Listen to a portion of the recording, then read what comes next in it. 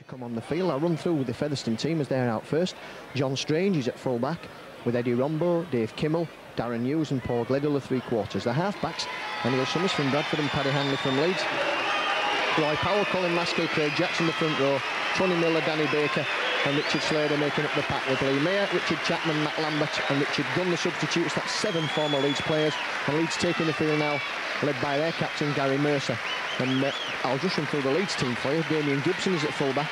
Paul Sterling, Richie Blackmore, Francis Cummins and Adam Hughes, the three quarters, with Tony Kemp and Ryan Sheridan, the halfbacks. Martin Masella, Terry Newton, Barrie McDermott, Adrian Morley, Anthony Farrell and Gary Mercer make up the pack and the substitutes today are Graham Holroyd, Hassan, Dean Lawford and Nick Fozzard. And one thing we haven't really talked about is the Leeds half-back combination. Big day for Tony Kemp, making his first start after his serious arm injury uh, from the beginning. And Ryan Sheridan, again, the two of them started on the bench last week. They've got the jerseys, and I think, uh, particularly in the early stages, they could well have a bearing on today's game. And looking at the size of Richie Blackmore, the first time we've seen him in combat gear, he, he's even dwarfing the prop forwards at the moment. He made Adrian Morley look small when they ran out. Yes, he is a tremendous uh, sight when he uh, gets into full rampage. I didn't, unfortunately, go to St Helens when uh, the Alliance team played there. Um, so I missed Richie Blackmore's appearance, but apparently, by all accounts, he was awesome. And uh, as I said, we said before, big game expected him today. Nice to see Roy Powell back here. Uh, always one of the gentlemen of the game, Roy.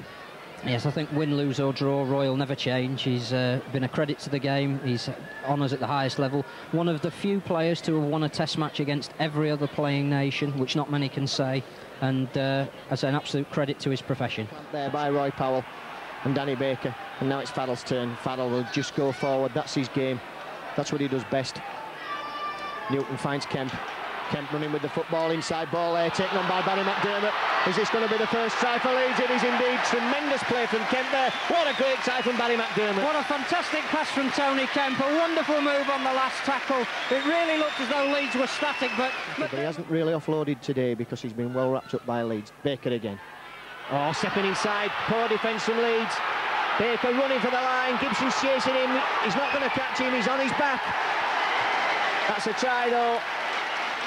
Poor play from Leeds there, allowing the man to step inside. Poor defence from Marker Danny. And Danny Baker's quick. We've just seen that poor marker defence from acting half. These days. And that's straight through the middle, is it? It is indeed, and that gives Featherstone an unlikely lead, Phil. Yes, certainly Leeds did everything right for 17 minutes. We talked about keeping it going and perhaps even a period of consolidation.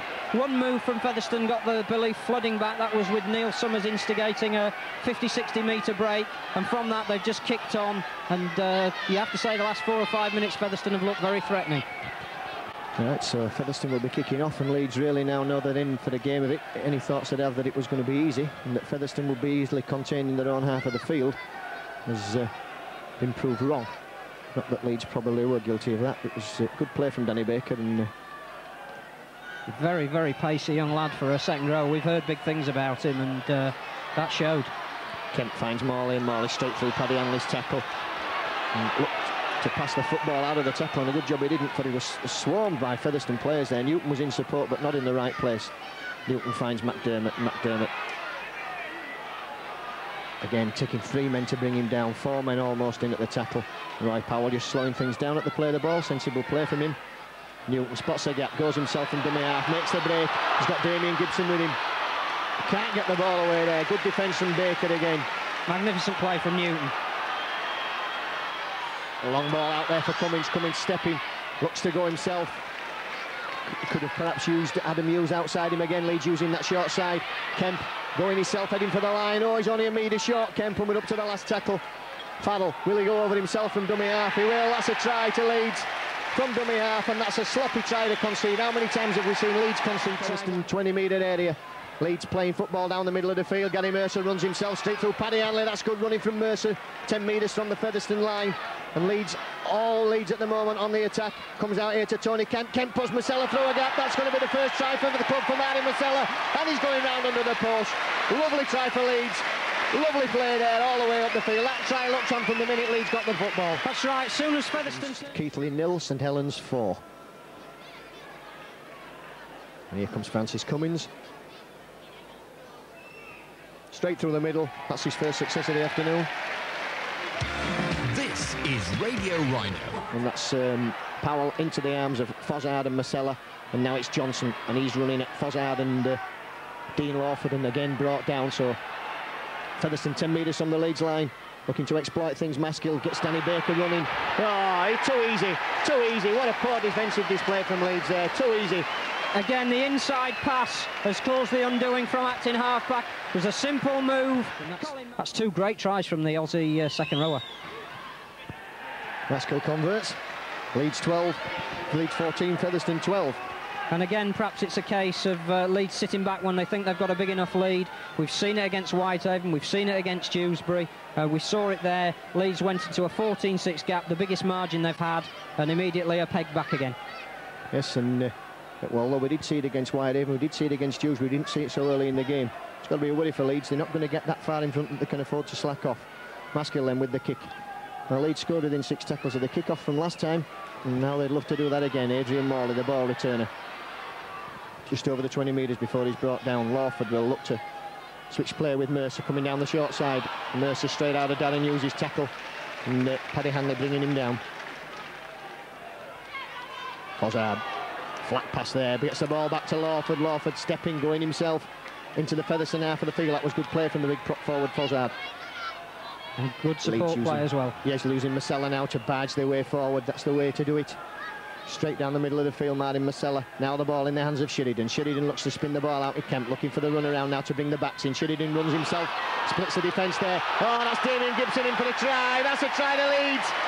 And again, they've scored within six tackles to restore that advantage.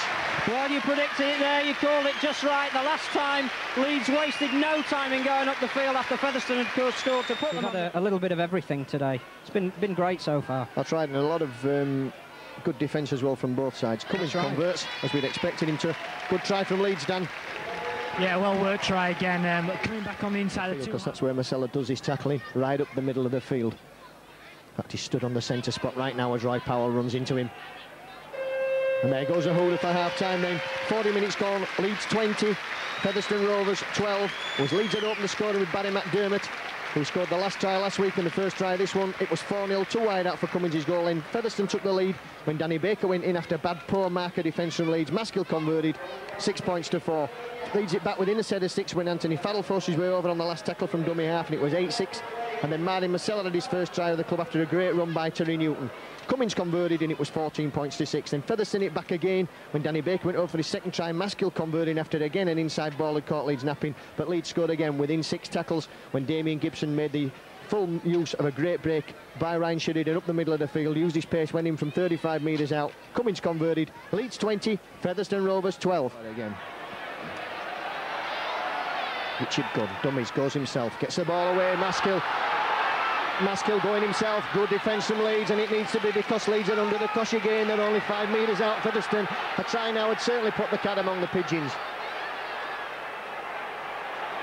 And the referee spotted an offence there, Damien Gibson being pulled out.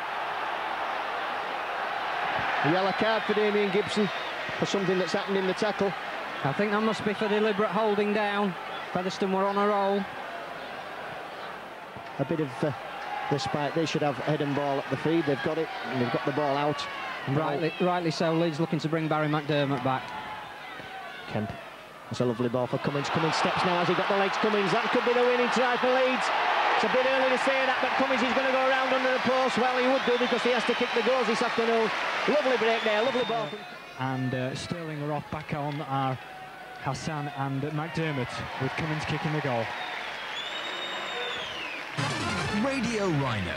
Join the charge. 1404 Another fine accolade for the youngster. Yes, tremendous points accumulated, Graham Holroyd. Has his knockers and his detractors, but not me, as Barrie McDermott lets me know regularly. Holroyd successful, and that takes him up then. Yes, there's about seven minutes left, I think. A tackle that leads you 10 metres from that Featherstone line. Looking for a big push from Barrie McDermott. Lawford goes himself. McDermott. Oh, just held a metre short there. You could see the anticipation there in the crowd when uh, McDermott was going for the line. Newton then finds Lawford. Lawford to Holroyd. Holroyd will look to spin that ball across to Sheridan. Looks for the run around. Lovely ball out for Cummins. Cummins, oh, easy, too easy. From Francis Cummins. Lovely try. Finishing off there with a flourish lead. Lovely ball from Holroyd again. I think as well, though, you have to feel a little bit sorry for Featherstone. The margin is right in the terms of the fact that Leeds have scored six tries to two. But uh, at the end of the day, 32-12, uh, the gap perhaps will, will look to those that weren't here greater than we know it really was from a great game between two sides who really gave their all. Radio Rhino. Join the charge on 1404 AM. You are listening to Radio Rhino with myself, Stuart Duffy, and Phil Kaplan on the commentary, of the big match commentary from Headingley. Graham Holroyd looks to get the game started. There can't be more than a minute or so left. We may even be into stoppage time now. Leads into the fifth semi-final in a row. And that's a great record. And before anybody uh, checks the record books, and that's the final whistle. Leeds are the most successful team in Challenge Cup in the 90s. Yes, tremendous play there from Leeds to get through the the um, semi-final stage. So we're going to semi-final. Can we go all the way to Wembley this year? It'd be nice to think so. Well, it was 20 points to 12 at half-time, and then Leeds came out and scored the first try on 56 minutes after withstanding a lot of pressure there from Featherstone. Francis Cummins it was who went over. He converted himself, 26 points to 12, and Featherstone then he really faded after that. A Holroyd penalty on 73 minutes as soon as he'd come on the field to replace Kemp, made it 28-12, and then a lovely ball from Holroyd again. Freed Cummins on the right-hand side, putting through the gap. Featherstone clapped their supporters. It's 32 points to 12 Leeds. A great victory then for Leeds Rhinos. Leeds Rhinos in the semi-final. Bradford, they've defeated Oldham 38 points to 12. So the uh, semi-final and it looks like it's going to be Salford, St Helens, Bradford and the Leeds Rhinos. So Leeds 32, Featherstone Rovers 12.